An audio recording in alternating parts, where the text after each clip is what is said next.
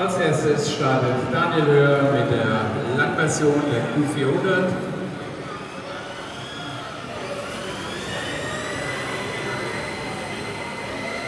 Entschieden sich die Angelov AM 225 von der Thunderfake.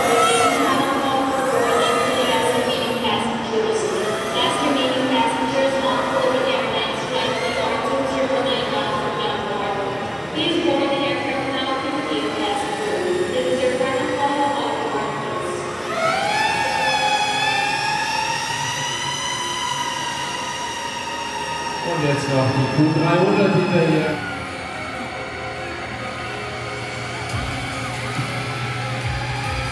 Und als Vierter geflogen von Mick